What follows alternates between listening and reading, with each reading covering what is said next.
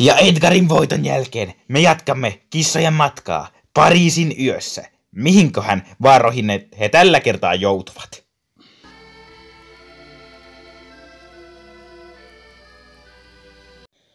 Pommi, mikä vittu meillä kestää? Meidän pitäisi olla nyt kotona. Väsyttää niin saatanas. Ei mun kanssa pulvanta jotain aina. Ei hätää, tuolla on yksi hupimaja lähellä. Mä tiedän reitin. No paras tulla vaivan arvonen. Eikö sulla koiri kans? No niin, Kolli. Missä se sijaitsee?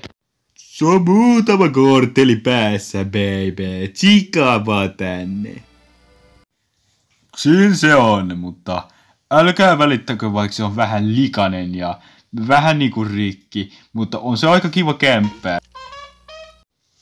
Vittu! Mun kotiin on murtauduttu. Ne spurkukissat taas on hyökännyt meitä vittuu. Ystäviäksikö? Ei, ne on täys päin vasta, ne vasta kohtaa, ne on ihan kauheita. Uh, haluan tavata heidät. Kuulostavat aika seksikkäältä. Mennään näyttää ne oikeutta. Hei Spurku, pois mun sängystä ja irti mun soittimista, mene vittuun.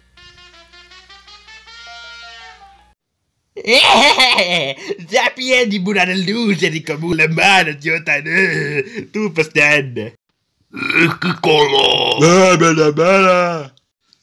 Saanko esitellä, tässä on homoin kissa koko Pariisissa. Mitä imartelua? Mua. Totta kai mä homma kuulemma näin paljon poikaystäviä. Voi, miten hurmaava te olette. Ja niin seksikäs. Voisitteko tulla joskus minun aviomiehekseni? Mutta on homo. Eikö se ottaa sitä?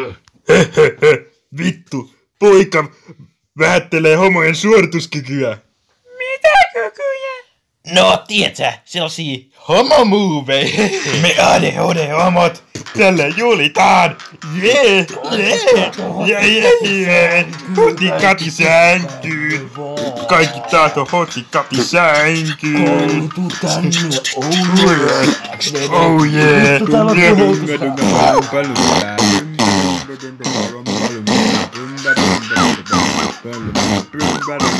Hoti kati sänkyyn. Mennä kaljalle kuomaan. Joo, kaljalle.